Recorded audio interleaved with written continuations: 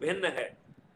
ना जो अपने तरफ़ से किसी को अपने व्यक्ति को कहेगा कि इसको टिकट दे दिया, वह है आपको आपकी मेहनत के हिसाब से लोगों के जोड़ने के आधार पर, आपके कंपटीशन के आधार पर, आपकी मेहनत के आधार पर आपको टिकट दे रहा है।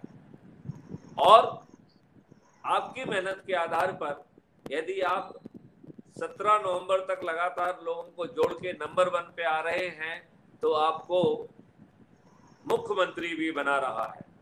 तो दल इसमें दल कुछ काम ही नहीं कर रहा है। वो क्राइम फ्री भारत मिशन के 18 लक्ष्यों को ज़मीन पे उतारने के लिए इक्कीस लक्ष्यों इक्कीस लक्ष्यों को ज़मीन पर उतारने के लिए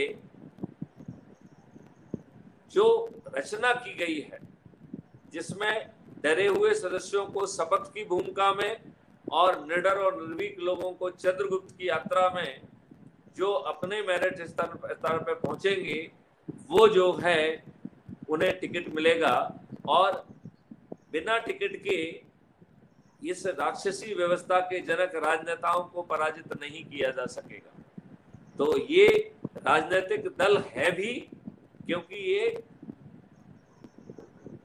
चुनाव आयोग के द्वारा रजिस्टर्ड है। और ये टिकट देगा तो उस टिकट के आधार पर हमें एक मान्यता प्राप्त दल के हिसाब से जो है ना आप प्रतिनिधि माने जाएँगे। एक मान्यता प्राप्त जो है रजिस्टर्ड दल के जो प्रतिनिधि को लाभ मिलता है शासन से, वो आपको मिलेगा। और टिकट पाना आपके हाथ में है। क्यों? क्योंकि आप लोगों को जोड़ेंगे तो केवल टिकट पाना ही आपके हाथ में नहीं है। आपके हाथ में मुख्यमंत्री बनना भी है। आपके हाथ में उप मुख्यमंत्री बनना भी है। आपके हाथ में विधायक बनना तो टू हंड्रेड परसेंट है। बसरते और इसके साथ साथ इक्कीस लक्ष्यों के साथ महापरिवर्तित तो भारत मिल जाएगा, जो आज के दुष्ट राजनेताओं ने आपको दूर रखा है।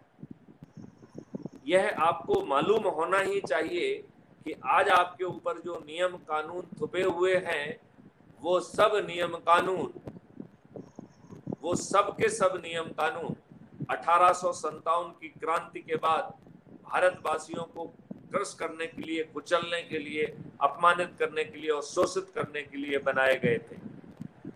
ये वही जो है व्यवस्था है, जिसके तहत हमें न्याय का ढकोसला करते हुए पचड़े में फंसाकर हमें बरसों बरस जो है ना न्याय नहीं मिलता है।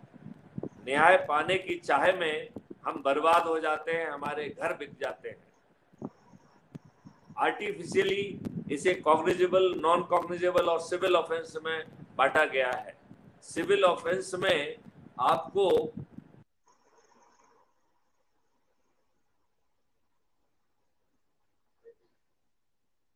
बहुत ही गड़बड़ कार्रवाई है। लिहाजा इसे